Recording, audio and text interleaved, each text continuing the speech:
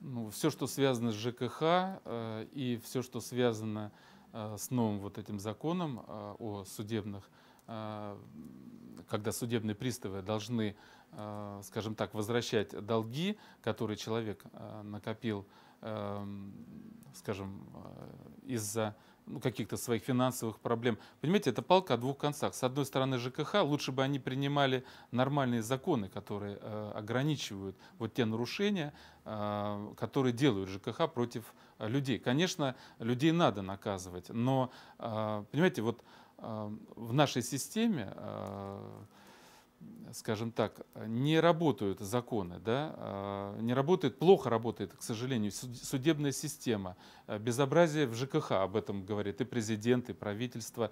Надо вот, наверное, все-таки больше уделять э, силы времени созданию таких законов, которые э, ограничивали бы вот этот беспредел, то, что творит ЖКХ, не выполняет свои обязательства, поднимает цены, пытается, делают какие-то плохие некачественные работы, это, понимаете, вот эм, одно без другого. Э, понимаете, вот ЖКХ, оно же тоже своими действиями часто людей провоцирует не платить. Оно тоже загоняет их в долги. Какие-то э, совершенно липовые левые расценки, цены выставляет за свои услуги. И людей жалко. И когда к ним начнут приходить судебные исполнители, если действительно человек э, виноват да, перед законом, если он нарушает, конечно, он должен нести наказание.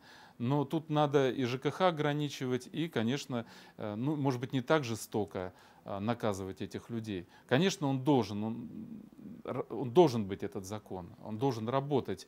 Э, но это надо все, все-таки все, что связано с людьми, надо делать ну, максимально продуманно и, скажем, чтобы это не приносило таких вот каких-то страданий, какие-то несправедливые решения. Это же самое страшное, когда у человека вообще могут за неплатежи отнять квартиру.